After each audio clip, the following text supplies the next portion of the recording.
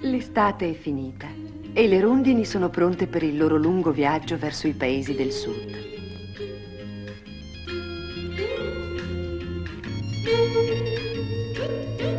Una rondine ha ritardato troppo la partenza e adesso vola velocissima per cercare di raggiungere le sue compagne.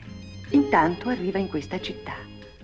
Portami le tue cose più preziose della città, le disse. E lei, in verità, non sapeva proprio dove cercarle, come se fosse facile per uno straniero entrare in una città sconosciuta e nel bel mezzo trovarci le due cose più preziose.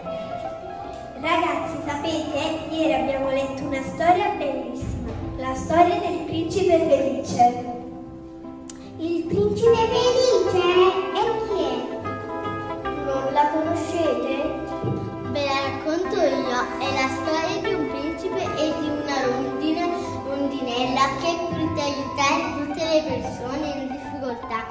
Hanno donato tutte le loro cose più preziose. Sì, esatto, il principe è chiamato principe felice perché quando era umano non sapeva neanche cosa fossero le lacrime. Ma ora che è morto lo hanno messo così in alto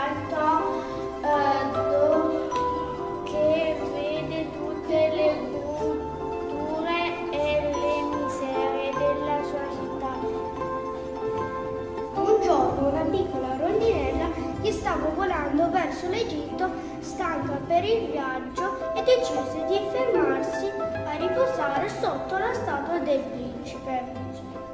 Sì, e mentre stava riposando sentì cadere delle gocce d'acqua sulla sua testa. Erano le lacrime del principe felice. E allora cosa fece? Sì, purtroppo la